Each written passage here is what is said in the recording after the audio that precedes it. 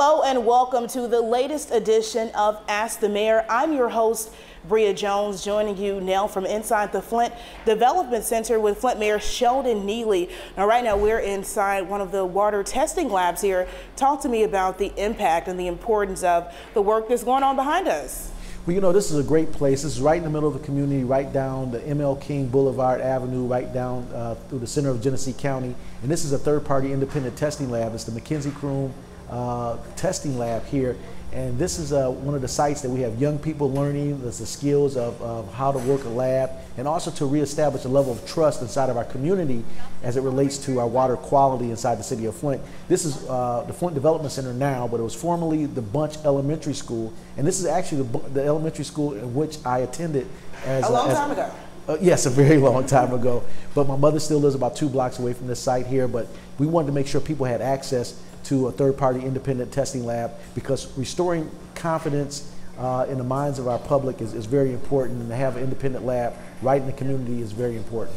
And this community lab has been open for six months. Yes. Um, just residents, is it free? Is it available? And how, if people who are watching may want to get their water tested, how can they do so? Right. The city of Flint is still testing water and water quality as it relates to our EGLE, which is our environmental protection agencies in the state of Michigan, and also EPA, which is the federal environmental protection agencies. We still have to qualify and test on a city level.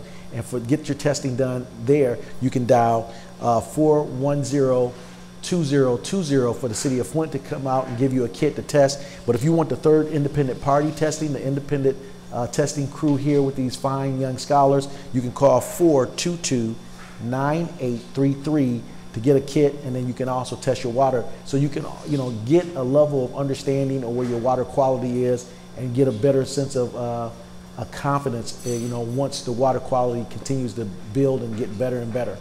Now, April is the month that many recognize as the anniversary of the Flint water crisis when the city's water source switched over to the Flint River. Now, as we approach that seven year mark, just reflecting and looking back, um, just kind of what are your thoughts as we approach that date? We've made uh, uh, some great strides. You know, more than probably $2 billion of resources have been put to the effort of restoring water quality inside the city of Flint and also the infrastructural uh, pieces put together. Uh, right now, it's a little distracting and a little disturbing that right now, as we, we, as we get ready to complete, we have less than 500 structures to check that now it's been placed on hold because we have no project manager because the Flint City Council has held it, the money uh, for this last phase of, of, completion. We still have a soft surface repair to still to be completed. This is the season. People want to have their yards beautiful and these type of things, and we are we're right there. And so these delays. Uh, can be a, contributed to many different things, petty politics, divisiveness between uh, the co-equal branches of government, but people should not be left to suffer. We have come far, uh, you know, and we need to complete this project. Seven years is far too long for any community to undergo what the city of Flint has, and we need to complete this project to make sure people are not fearful of what's coming out of their taps. We need to complete the lead line replacements in the city of Flint. And so we need this to be done. And so I would ask the viewers to petition their city council people and say, hey, let's continue to move forward. You know, as you mentioned, this is construction season. And if the city council doesn't act fast and make a decision when it comes to the pipe replacement program, what's at stake and at what point will the city step in to take action? Well, the health and welfare of those individuals that still have the, the service lines to their homes is very critical. The world has watched this. Many high-minded dollars have went to the effort of this uh, outside of taxpayer dollars. So if they don't do it, you know, the, the, the, residents themselves have an obligation to be able to petition their council people and to remove those obstructionists out of the way because we know uh, it should be people over politics. And, and we need to move forward with this and then continue to uh, strive to get this job done. Now, switching gears, another major issue that we're facing not only in Flint but all over the country we're seeing a increase in coronavirus cases. Now, when it comes to this upswing here in Genesee County and in Flint, um, how is your administration just kind of handling the uptick in COVID cases? Well, we know the moratorium for water shutoffs has been lifted by the state, but the city of Flint, we will not disconnect uh, users to the water system. We will not take away that tool, uh, that fighting tool that people have against this deadly virus of, of washing their hands and making sure they have sanitary environments. We won't take that away from them. But however, we will go after those habitual commercial non-payers. Uh, when I say habitual commercial non-payers, we've seen apartment complexes that has been recently in the news that owes the city probably more than a million dollars of past utility costs. We will be seeking those uh, dollars to be able to put back into our system to support the infrastructure of water delivery in our community. And so we have a big task in front of us. A big task and coming with a large amount of money as well, the 99 million in COVID relief funding that will be coming to the city of Flint, which is great news for us um, and just all the different things that could potentially happen with that funding when it comes to looking at COVID as well as the water crisis uh, that people are still dealing with. Where are we seeing that funding going or where would you like to see that money allocated right. towards. But, but first, the viewers have to say, can you say game changer? This is transformational for our communities, all right? And uh, in the Genesee County area and the Greater Flint area, you know, $77 million is going to the county. $114 million is going to the Flint Community Schools, accompanied with $99 million to the city of Flint. With our philanthropic partners and our friends and residents alike, this is transformational for our community. And if we stick together in a, in a, with a positive mindset on a direction to be able to enhance our community and also the futures of our children, we can make a game-changing move in this community. New infrastructure, new economic development opportunities. We talk about public safety. We talk about health, quality.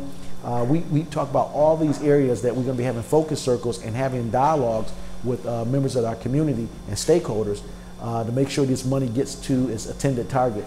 Uh, far too often, many dollars were misplaced uh, through this whole a situation of a water crisis, these dollars that's going to be coming to the city of Flint will not be misplaced, but they will hit their target to make sure that we have an effectuated change, improving the quality of life for residents inside the city.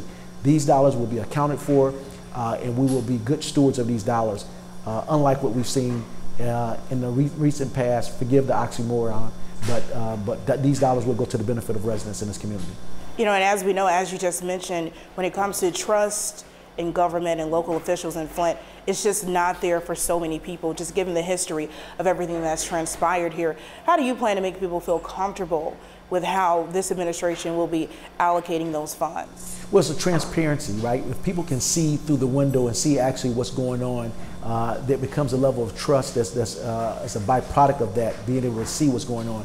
And also some of the things that we've done. The city council and the mayor's office has recently put forth a resolution asking the judge in a lawsuit settlement for a level of transparency, ask for a special master to be uh, given so we can look at an itemization of what uh, charges are going to be uh, uh, accrued for those lawyers, the plaintiff's lawyers, and where those dollars are going. I think it's very important that residents know exactly who got paid, who's getting paid, and get a, a, a, accounting of those dollars, you know, in an itemized type of fashion. Because when we talk about what was requested in the form of $200 million from a sum of $641 million, I think people deserve to know uh, where these dollars are, are, going. And I know it's a lot of dialogue around uh, the dollars, but definitely when we have dollars, sometimes you have um, nefarious intent and some try to pick the pockets of the poor and we need to stop that now. And that's what this current administration is doing and when it comes to residents having an insight, a lot of people talk on social media, um, but will they have a chance to talk with you and other members of the administration about what they would like to see the money go towards? I know City Council, they're having budget hearings this week. Um, are there any opportunities for residents to chime in other than maybe public comments? Yep, absolutely. We, we invite those type of things uh, outside of any interruptions, right? Because people's, the will of the people has to be honored right? Outside of, of, the dysfunctional system in which they're become accustomed to watching inside of City of Flint, uh, we need to make sure that we lift uh, the intellect of our whole community as it relates to where these dollars are going and how they should be used. And we are, are going to be uh, having focus circles, inviting people to provide their, their comments. Now, we ask people to be very respectful and to be very mindful of what we need to have happen. Uh, but this is a game changing opportunity uh, that the federal delegation has brought forth, bringing these high-minded dollars. $1.9 trillion for the recovery of America has been allocated, and we're doing so. And so, but we definitely will protect the individuals out here with good information, but people have to be a great advocate of themselves as well. Okay, I'm going to try something different. I'm going to start a sentence, and I want you to finish it. Absolutely. Okay. Mayor Sheldon Neeley would like to see a large priority of that money go towards public safety, blight elimination, health disparities. Also, we want to make sure that we have an infrastructure that supports education in our community. Uh, and also our, our, our overall infrastructure that can support business growth in our community. And you know, looking at we're springtime now, um, and we know a lot of times as we see around the country, just again, history often repeats itself, and we know when we see warmer weather, we usually see an increase in crime as well as we're seeing right now, an increase in COVID cases. Just heading into these next few months, how does the city plan to be vigilant in making sure that we don't see a you know dramatic increase in crime like we're seeing now with the spike in COVID cases? Yeah, prayer, planning, and partnership. We, we've been doing a, a, consistent prayer. We've been doing a lot of planning, but the partnership now has to grow with the residents themselves.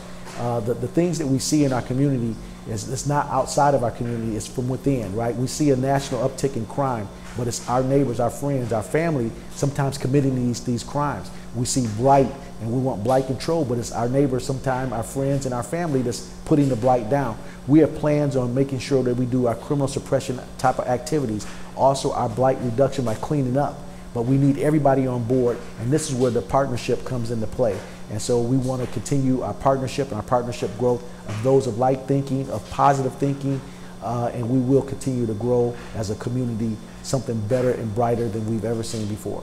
And I know last summer there was a curfew um, that you know coincided not only with the COVID cases, but also the crime as it related to those pop-up parties. Is that something that you're currently entertaining? Could we see another curfew here in Flint this summer? Now, what we can see is more elevated type of activities, and what's going to be enhanced is the public's uh, uh, components of it. We have a community crime watch, and this is the new pallets is going out with all the contact information on the back of it, so people can call and report crime. We can see that traffic speeding mechanisms are going to be employed in communities where we see people not obeying traffic uh, speed limits, but we can also see a heavy area of partnership in law enforcement where we're going to be impounding vehicles and taking these vehicles off the street. Uh, we can see those type of aggressive movements, and so also with our gun, uh, you know, capturing and destroying these weapons and not auctioning them back into the circulation, uh, we can see these things. We're going to get these dangerous weapons off the street. We're going to look for our partners on a state level to give more enhanced uh, laws to be able to help us enforce uh, things moving forward. But we will move unapologetically in a positive direction, uh, and we need people of like thinking to help us. And so, what we need the city of Flint and the residents that says that we need the lead lines replaced in our community. We need the appropriations portions of our city council to move forward in a positive way and not have such uh, a level of strife that we've seen and, and, come accustomed to seeing every day. So places like the McKenzie Croom Testing Lab and other pieces and uh, these young people that's being educated, we can continue to move in that positive direction. Mm. And as we move into this next quarter of the year, because you know the, the year is, is done in, in quarters, as we move to the next quarter of the year, just kind of what are some big focal points for you? What are some things on your agenda that you would like to see accomplished? Well, I want to make sure that this, our strengthening of our educational system for our young people is very strong. Uh, our law enforcement, our blight reduction, and also to be able to, to capture on our positives in this community. We, we are the intellectual capital of the state of Michigan. We have University of Michigan Flint. We have Kettering University. We have Mott College. We have, you know, the Reconnect program that Governor Whitmer has engaged in. We have the Promise Zone. There's no excuse for people not to be able to have advanced education or a skill set or a trade moving forward building a better and stronger economy, cleaning our community up, and then having economic development tools and dollars. Uh, uh, homeowner rehab is a program we just initiated, and we're going to continue to put money in there so homeowners can get dollars to rebuild and, and, and remodel their homes.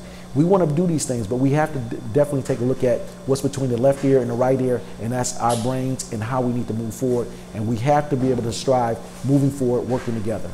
And what else is going on in that brain? Uh, what would you like to leave us with?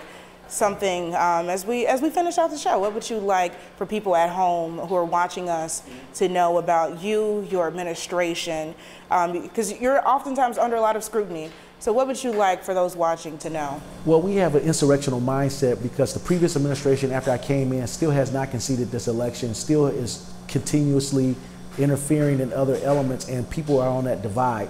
And so what we need to do is have a level of information and transparency to move us forward. We cannot move forward as a divided community. We won election. We're here. We're working very hard. My life's work is a testament to that. The McKenzie Croom Testing Lab, the Flint Development Center, uh, the library that we have here, and the work that we're doing down the poverty corridor and, and going through Flint is a testament to that. And wouldn't it be a wonderful thing if we all work together and seeing these things develop for our children? And so I extend the olive branch to all those that may be of divided uh, thinking, uh, that we will continue to work uh, for a united community. Uh, we are much more than the victim. We are victors in this community. And I'm going to extend another olive branch for those who are watching. You can send us all of your questions, all of your comments, your concerns to ask at midmichigannow.com, and we will bring them to the mayor and uh, we'll have a discussion about it because that's what this is all about being transparent and having that open dialogue, right? Absolutely, and we're not afraid of those questions that will come, but we know that some may have a, a tenant motive or agenda, but we're not even afraid of those questions.